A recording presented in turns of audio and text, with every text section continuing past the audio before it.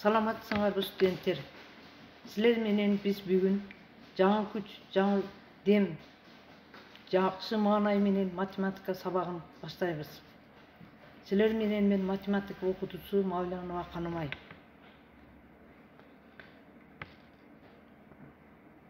бүгүнкү сабактын темасы рационалдык теңдемелердин негизги түрлөрү жана чыгаруу методдору сабактын максаты биринчи студенттер иррационалдык теңдемелердин негизги түрлөрү жана чыгаруу методдорунун бири болгон жаңы белгисиздикти кийрүү методу боюнча кеңири түшүнүк алышат экинчи студенттердин ой жүгүртүүсү жана эске тутуусу өнүктүрүлөт үчүнчү студенттер тапкычтыкка билгичтикке жана эмгекти баалоого тарбияланышат теманы баштоодон мурда суроо жооп жүргүзөбүз. Биринчи кайсы фигура ичинде кубтук тамырасында жыйырма жети жазылган. Экинчи кайсы түстө ромб берилген. Үчүнчү төрт бурчтук фигуранын ичинде ичиндеги сандын жообу канчага барабар. Төртүнчү тегерек фигурадан кийин кайсы фигура турат бешинчи трапеция тик бурчтук трапеция тик бурчтук фигураларды кошкон жообу канча болот силер буларды албетте билесиңер жообун кайтарым байланыш менен бересиңер деген ойдомун жаңы теманы баштайбыз. Аныктама. Аныктама. Белгисизди радикалдын тамыр белгисинин астына камтыган же белгисиздин рационалдык бөлчөк даражасын камтыган алгебралык теңдеме рационалдык теңдеме деп аталат. Квадраттык тамырасында f от x барабар ж x теңдемени чыгаруу жана теңдеменин тамырларын табуу же тамыр жок экендигин далилдөө деген сөз айкалыштары эквиваленттүү. Теңдемени тамыры тап десе анда анын чыныгы тамырын табуу экени түшүндүрүлөт. Теңдеменин аныкталуу областына тиешелүү сандар гана анын тамыры боло алат башкача башка сандар теңдеменин тамыры боло алышпайт деген теңдемени теңдеменин чыныгы тамыры жок дегенди билдирет негизги түрлөрү жана чыгаруу методдору биринчи арифметикалык тамырдын касиеттерин пайдалануу менен чыгарылуучу иррационалдык теңдемелер экинчи аныкталуу областын табуу методу менен чыгарылуучу иррационалдык теңдемелер үчүнчү бир гана радикалы бар иррационалдык теңдемелер төртүнчү бирдей даражалуу бир нече радикалы бар иррационалдык теңдемелер бешинчи ар түрдүү даражадагы радикалдары бар рационалдык теңдемелер алтынчы ар түрдүү туйунтмалардын көбөйтүүсүнө турган иррационалдык теңдемелер жетинчи функционалдык метод жана график методу менен чыгарылуучу иррационалдык теңдемелер сегизинчи пропорциянын касиеттерин колдонуу методу менен чыгарылуучу иррационалдык теңдемелер тогузунчу татаал радикалдардан турган рационалдык теңдемелер. Онунчу толук квадратты бөлүп алуу методу менен чыгарылуучу иррационалдык теңдемелер. Он биринчи параметрлүү параметрлүү рационалдык теңдемелер.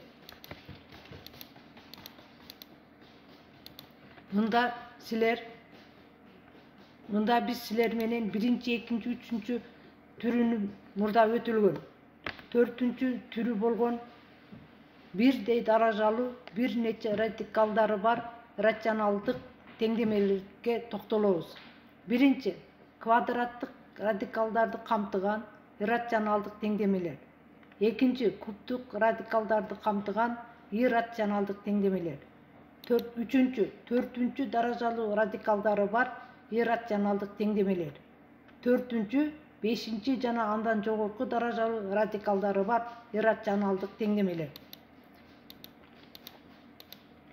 биринчи мисал теңдемени чыгаргыла мында квадраттык радикалы бар теңдеме квадрат тамырасында x квадрат плюс беш плюс квадрат тамырасында x квадрат плюс жыйырма бир барабар сегиз чыгаруу биринчи радикалды сол жагына калтырып экинчисин оң жагына алып өтүп квадрат тамырасында x квадрат плюс беш барабар сегиз минус квадрат тамырасында x квадрат плюс жыйырма бир жана эки жагын тең квадратка көтөрүп төмөнкүлөргө ээ болобуз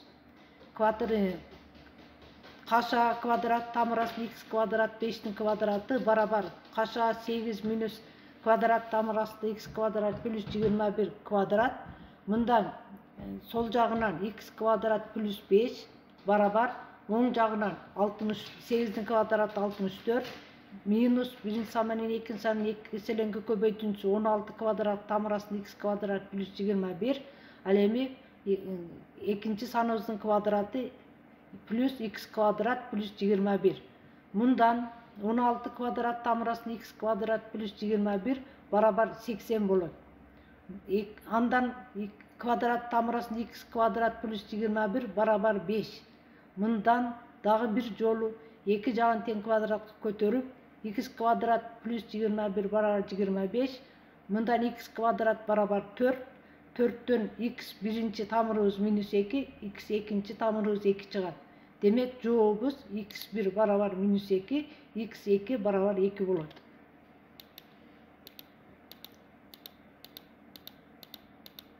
экинчи мисал кубтук радикалдарды камтыган иррационалдык теңдемени чыгаргыла.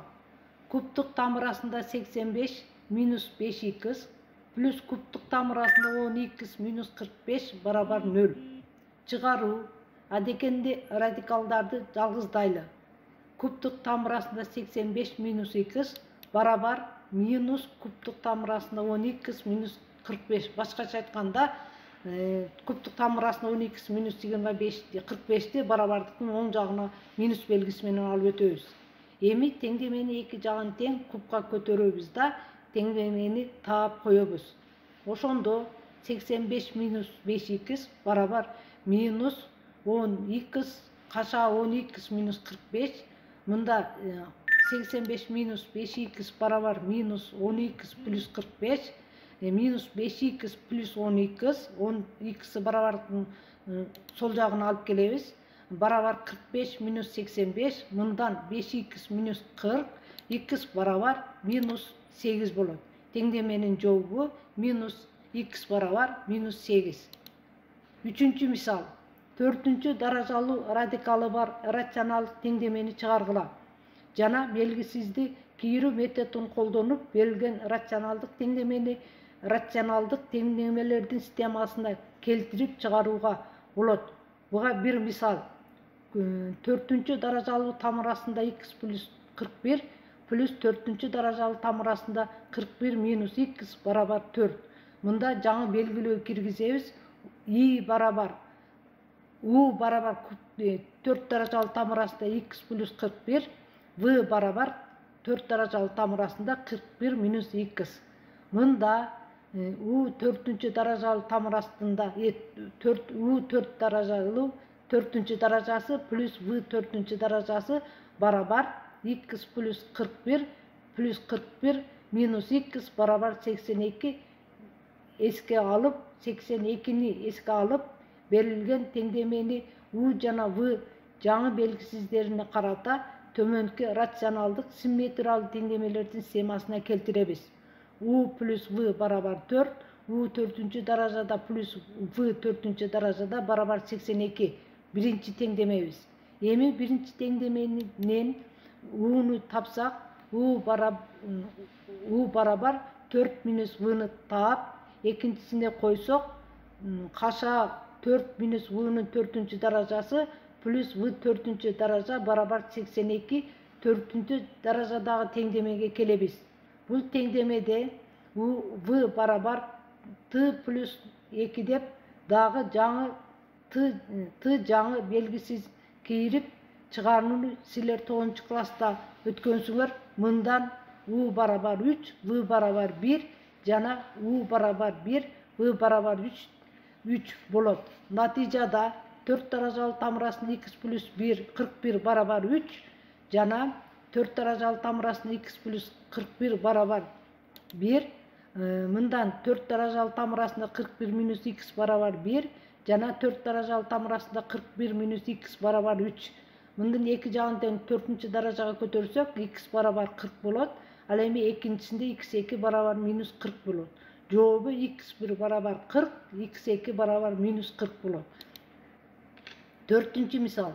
Бешинчи жана андан жогорку даражалуу радикалдары бар иррационалдык теңдемени чыгаргыла жетинчи даражалуу тамырасында он эки икс минус үч минус жетинчи даражалуу тамырасында икс плюс бир барабар нөл чыгаруу бул теңдеменин аныкталуу областы икс тиешелүү р а дегенде радикалдарды жалгыздайлы куб тамыры жети даражалуу тамырасында он икс минус үч барабар жети даражалуу тамырасында икс плюс бир андан кийин барабардыктын эки жагын тең жетинчи даражага көтөрөбүз да теңдеменин тамырын табабыз он эки икс минус үч барабар икс плюс бир он эки икс минус икс барабар бир плюс үч он бир икс барабар төрт.